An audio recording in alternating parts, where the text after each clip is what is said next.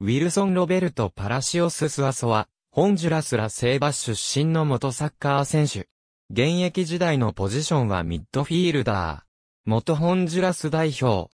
2007年8月31日、イングランドのバーミンガムシティ FC へ6ヶ月契約で、レンタル移籍し、9月22日にアンフィールドでのリバプール FC 戦でデビューした。2008年1月11日、移籍金なしで、ウィガンアスレティック FC に移籍した。翌日のダービーカウンティ FC 戦でデビューし、その活躍は、マンチェスターユナイテッド FC、リバプール FC、バイエルンミュンヘン、レアルマドリードなどのビッグクラブから興味を示されるほどだった。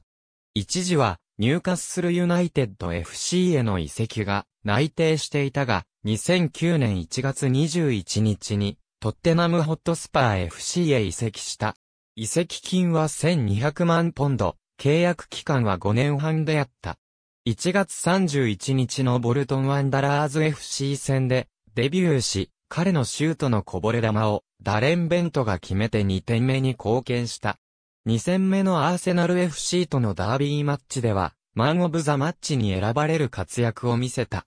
8月19日のハルシティ AFC 戦では、ロビー・キーンがスルーしたボールをシュートし、移籍後初ゴールを決めた。得点後には天に向かって指を指し、同年5月に亡くなった弟に祈りを捧げた。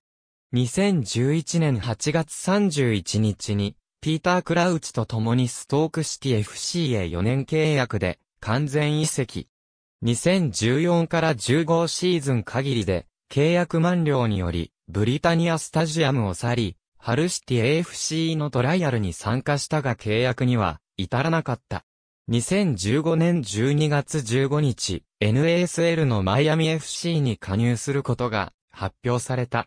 2016年シーズンは18試合に出場したが、11月21日に同クラブを退団した。ありがとうございます。